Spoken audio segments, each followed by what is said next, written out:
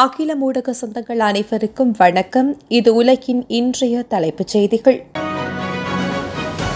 ஆப்பிரிக்க நாடான உகாண்டாவில் மயக்கவியல் மருத்துவர் எபேலா வைரஸால் மரணமடைந்ததை அடுத்து எபேலாவால் உயிரிழந்தவர்களின் எண்ணிக்கை பத்தாக உயர்ந்துள்ளது.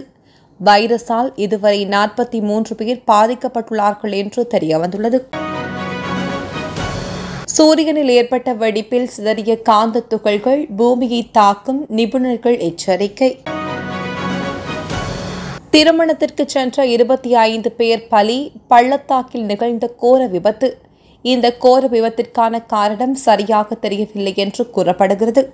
இந்திய பிரதமர் குடியரசுத் தலைவர் உத்தரகாண்ட் முதல்வர் ஆகிய தலைவர்கள் இந்த விபத்திற்கு இரங்கல் தெரிவித்துள்ளார்கள். யூடியூப்பில் இனி போகே தரத்திலான வீடியோக்களை பார்ப்பதற்கு கட்டணமா? பயனர்கள் அதிர்ச்சி. ஈரான் பெண்களுக்கு ஆதரவு தெரிவித்து முடியை கத்தரித்துக் கொண்ட ஸ்வீடன் எம்பி.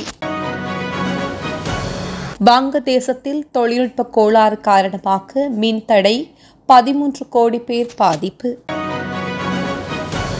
ஹிஜாப் எதிர்ப்பு போராட்டம் ஈரான் சிறுமியை கொலை செய்து உடலை திருடி புதைத்த பாதுகாப்பு படையினர். காலநிலை மாற்ற மாநாடு நடத்துவது தொடர்பாக கொக்கோலோ நிறுவனத்துடன் ஐநா மேற்கொண்டுள்ள ஒப்பந்தத்திற்கு சுற்றுச்சூழல் ஆர்வலர்கள் கண்டனம் தெரிவித்து வருகின்றார்கள்.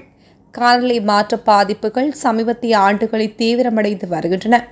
இதனால் ஏற்படும் விளைவுகளை தடுக்க மற்றும் எரிசக்தி மூலகங்களுக்கு மாற உலக நாடுகளை சுற்றுச்சூழல் ஆர்வலர்கள் வலியுறுத்தி வருகின்றார்கள்.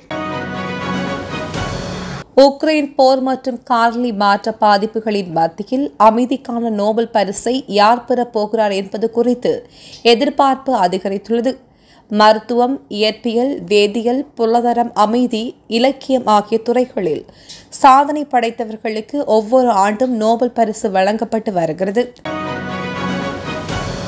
ஆப்கானிஸ்தானில் காபூலில் உள்துறை அமைச்சக வளாகத்தில் உள்ள மசூதியில் சக்தி வாய்ந்த குண்டு வெடித்துள்ளது. இந்த விபத்தில் மூன்று பேர் கொல்லப்பட்டனர். இருபத்தி ஐந்து பேர் காயமடைந்துள்ளார்கள்.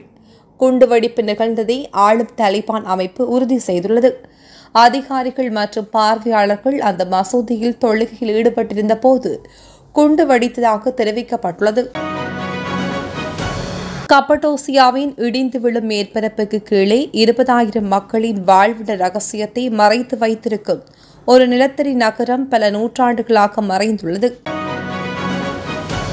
நேர்களே இந்த செய்தி தொகுப்பு தொடர்பாக உங்களுடைய கருத்துக்களை கமெண்ட் வாயிலாக தெரிவிக்கலாம். இதுபோன்ற உலக செய்திகளை உடனுக்குடன் அறிந்து கொள்ள அகிலம் ஊடகத்தோடு இணைத்திருங்கள்